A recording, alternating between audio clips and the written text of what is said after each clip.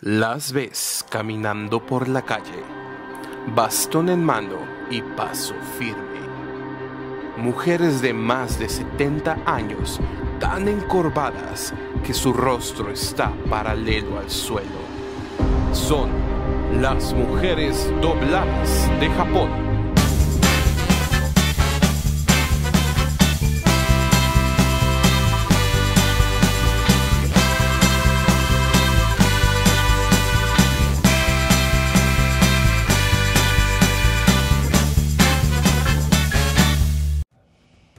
Pero, ¿por qué Japón tiene tantas de estas mujeres? El nombre del padecimiento es camptocormia o síndrome de la columna doblada. Es un padecimiento multifactorial que ocasiona una curvatura anormal hacia el frente. En casos extremos puede deformar la postura a tal grado que resulte imposible para la persona volver a una posición erguida y sus causas van desde lo óseo por deformaciones de la espina dorsal, lo muscular por atrofia y debilidad de los músculos de la espalda, a lo neurológico por enfermedades que afectan el control postural. Pero, ¿por qué hay tantas mujeres que lo padecen en Japón? La creencia tradicional dice que es debido a la cultura. Usualmente encuentras a estas mujeres en pueblos. Nosotros las vimos en Kioto y Hiroshima, poblaciones más tradicionales que grandes centros urbanos como Tokio o Osaka.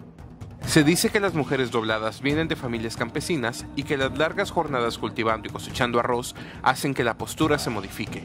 Además, todo en Japón está al nivel del suelo, al menos en los hogares tradicionales. Las personas en Japón, por regla general, suelen tener mala postura porque tienen que agacharse para todo. Pero hay otro factor importante aquí.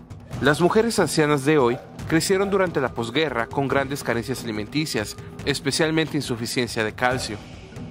En Japón no hay tierra para la ganadería, por lo que el consumo de lácteos depende en gran medida de la importación, pero esta es una práctica reciente, tiene menos de 50 años.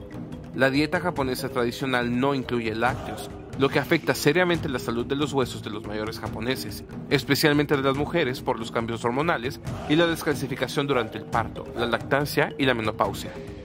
Las mujeres dobladas trabajaban agachadas cosechando arroz, realizaban el resto de sus actividades a nivel del suelo y crecieron con severas deficiencias de calcio.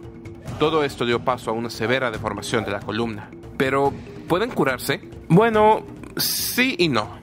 Con tratamientos adecuados y ejercicios de fortalecimiento, pueden recuperar algo de la verticalidad, pero en casos tan extremos, tratar de enderezar la columna puede ser sumamente doloroso.